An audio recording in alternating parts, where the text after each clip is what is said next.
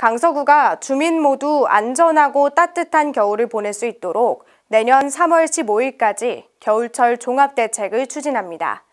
특히 올겨울은 동절기 재난 상황 대비뿐만 아니라 단계적 일상회복 추진과 코로나19 확산 방지에도 온 힘을 다한다는 방침입니다.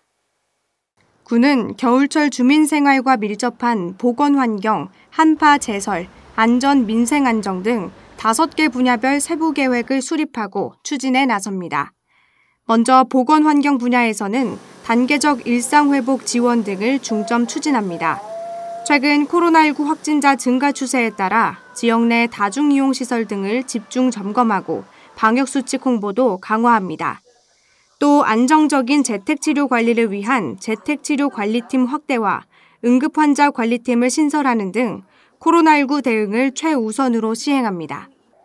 한파 분야에서는 한파 상황관리 체계 구축과 취약계층을 보호합니다. 한파관리 TF팀과 재난도우미를 통해 한파특보 시 신속한 상황 전파 체계를 구축하는 한편 54개의 한파 쉼터를 운영해 취약계층 주민들을 보호할 계획입니다.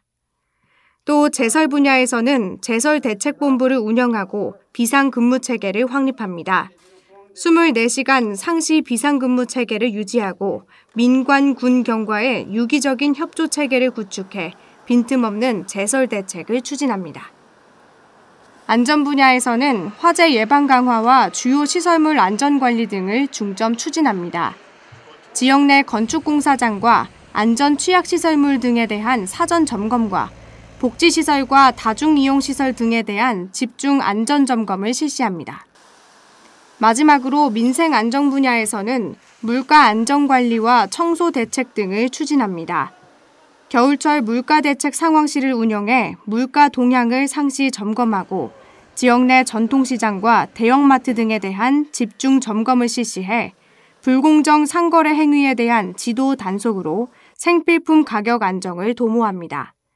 또 김장 쓰레기와 같은 쓰레기 배출 방법 등 주민 생활과 밀접한 사항에 대한 홍보도 강화해 겨울철 주민 불편을 최소화할 계획입니다. 한편 강서구는 분야별 세부 대책을 지속적으로 홍보해 구민 모두 안전한 겨울을 보낼 수 있도록 최선을 다한다는 방침입니다.